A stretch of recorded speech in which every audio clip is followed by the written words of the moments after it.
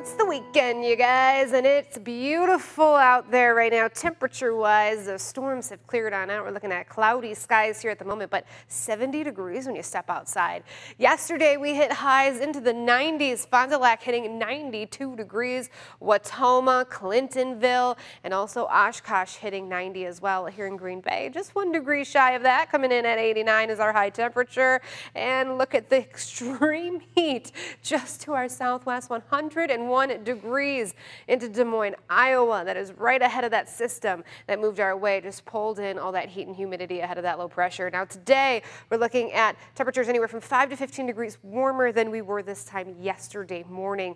Look at that heat, though, starting off into the upper 70s into Kansas and also into Nebraska as well. Now, temperatures, whew, they're going to rise up there once again, and it's also pretty sticky because our dew points are into those mid to upper 60s. So you can feel the humidity out there. Winds are much calmer than they were last night, right? They're barely moving. The wind gusts have died down, but they will pick back up later on this afternoon.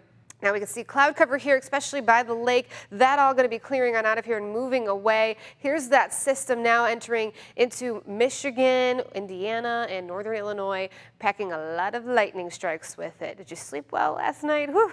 A lot of lightning, a lot of thunder out there all along this low pressure system as that continues to push away. It's going to allow one to drop in from Canada, bringing us some cooler, more comfortable air, which is also prompting a fire weather warning into northwestern Wisconsin and also a fire weather watch watch into the UP. So as those winds get breezy again out of the northwest this afternoon, gusting up to about 30 miles per hour, you got to be careful, especially with those bonfires and those cigarette butts as we go through the day today. Now, beautiful sunshine arriving here this afternoon. Highs climbing once again. It's going to be another hot one out there. Dew points, though, like I said, dropping. Much more comfortable air so we can say goodbye to that humidity as the day wears on. Now, tonight, we do have chances of some scattered showers and storms as this cooler air kind of slams into us again. We could see those firing up early tomorrow morning, winding down by late morning.